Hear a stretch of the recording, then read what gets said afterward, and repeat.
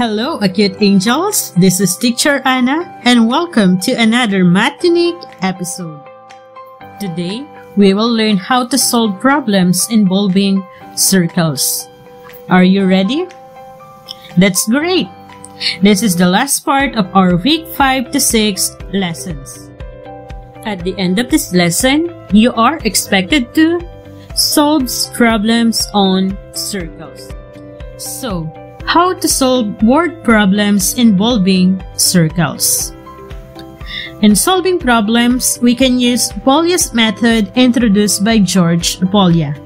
George Polya is a Hungarian-American mathematics educator who believed that problem solving was an art and the skills to solve math problems can be mastered with constant practice.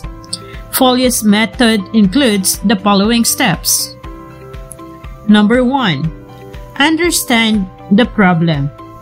It means we need to read and analyze the situation. Number 2. Devise a plan. List down all the given data, determine the unknown and what is asked in the problem. Step number 3. Carry out the plan. Write the formula that describes the relationship between the variables and solve for it. And for our last step, we have look back. Verify if the solution obtained is meaningful to the problem solved.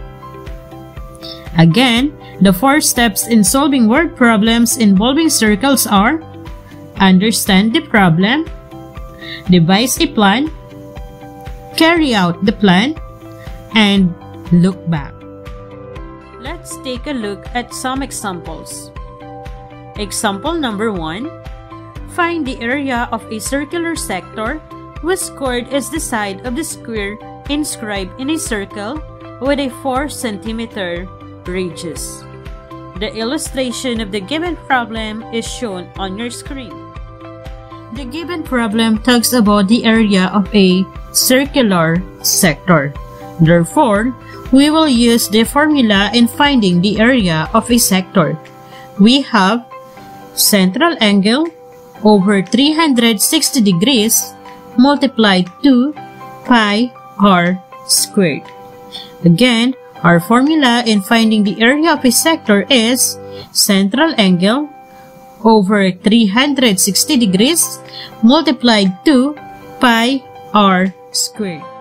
And since the measurement of the central angle is the same to its intercepted arc, we have 90 degrees over 360 degrees multiplied to pi multiplied to the value of r or the radius which is 4 then we write squared. The lowest term for 90 over 360 is 1 over 4. Then we have to simplify 4 squared. 4 squared is equal to 4 times 4 which is 16. Therefore, we have 1 over 4 multiplied to pi multiplied to 16. Pi multiplied to 16 is equal to 16 pi. Then we have 1 over 4 multiplied to 16 pi. 1 fourth multiplied to 16 pi is equal to 16 over 4 times pi. And 16 over 4 can be expressed as 4.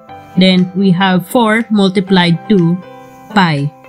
And using your calculator, we have approximately equal to 12.57 square centimeter as the area of the circular sector in the given problem. Let's proceed to example number 2.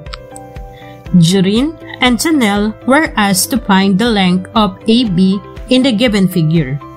The following are their solutions. For Jorin, we have 7x is equal to 9 multiplied to 10. And for the solution of Janelle, we have 7 multiplied to the quantity x plus 7 is equal to 9 multiplied to the quantity 9 plus 10. The question is, who do you think would arrive at the correct answer? Explain your answer. Of course, for us to identify who will arrive at the correct answer, we need to check the given figure. As we can see, it talks about the 2 secant power theorem. So, our formula would be 7 multiplied to the length of AC, which is x plus 7, equals 9 multiplied to the length of EC, which is 9 plus 10. As we can see, Janelle is the one who will arrive at the correct answer. And that's how we solve problems involving circles. Dear Acute Angels, you did great in watching and listening. I hope you are now confident to answer activities related to it. Again, this is Teacher Anna and see you on another Matinee episode.